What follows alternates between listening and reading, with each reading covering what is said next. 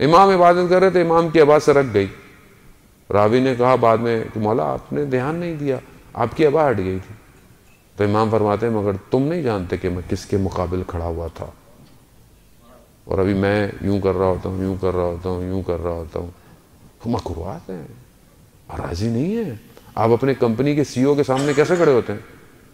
Tie बिल्कुल सीधी करके सलवटे ना आए, हाथ में फ़ाइल बिल्कुल सही हो, बिल्कुल सीधे आप बैठे हुए होते हैं। कौन है कंपनी का सीईओ कितने पैसे देता है आपको? कितने दे देगा आपको? कितनी गाड़ी, कौन सी गाड़ी देगा आपको? मगर जो इन कुल्ले शैन कदीर है, उसके सामने मैं कैसे खड़ा हूँ? तो रावी ने कहा, मौला, हम क्या करें? हमारी तो ऐसी नमाजें नहीं है।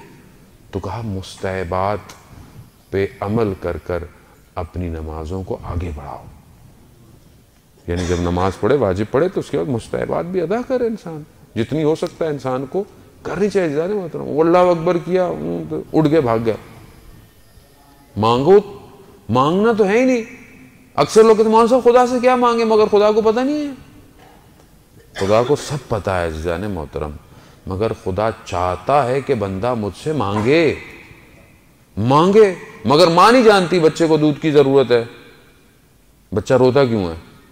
जब रोता है तो अपनी भूख की शिद्दत के एहसास को मुतवजह करवाता है। मगर माँ जानती नहीं है भूखा है। लेकिन जब तक रोता नहीं है, उसे नहीं देती है खाना। छोटा सा बच्चा है भी बोल नहीं सकता। अजान हम भी ऐसे ही हैं। खुदा जानता है। मगर खुदा जब कुरान में खुद कह रहा है अदूनी अस्तजिब लकुम, मांगो, मैं मुस्तजाब करूँगा। अल्लामा मजलिसी अव्वल के आपकी सलावात उनके दर्जात में इजाफा फरमाए।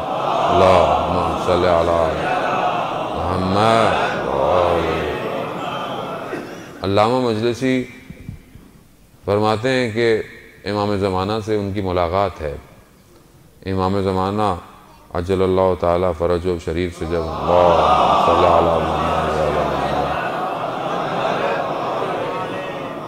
वाल यहाँ ब्रैकेट में एक मौजू में बयान करता चला जाऊँ। अक्सर लोग मुतमनी हैं, होना भी चाहिए। हमसे भी सवाल करते हैं कि मौना साहब इमाम ज़माना से मुलाकात कैसे हो?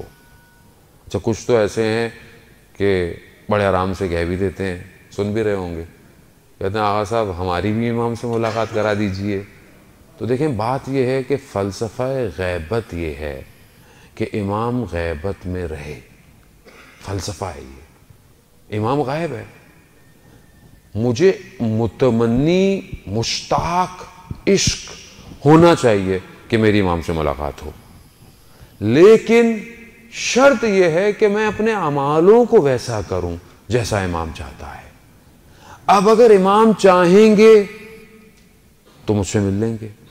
खूब अगर इमाम नहीं चाहेंगे तो मुझे इसमें यह नहीं होना चाहिए कि मतलब इमाम तो मिल नहीं रहा मैं कोई अच्छा काम नहीं कर रहा। ऐसा नहीं है जाने मोहतरम। इमाम जहाँ बेहतर समझते हैं, किसी से मिलना वो मिल लेते हैं। और बहुत सारे ऐसे भी वाकयात हैं कि जहाँ इमाम मिले हैं, मगर इमाम ने बताया नहीं कि वो इमाम है। बाद में इंसान को महसूस होता है एहसास होता है। तो इमाम का वजूद हर जगह है। इमाम ऐसे नहीं कि आप बोलेंगे भाई यहाँ इमाम नहीं होंगे, वहाँ इमाम नहीं होंगे, या फलानी जगह इमाम नहीं होंगे, या सिर्फ़ इमाम बारगाह में इमाम होंगे। नहीं अजान इमाम हर जगह हैं। क्यों? खुदा की कुदरत है।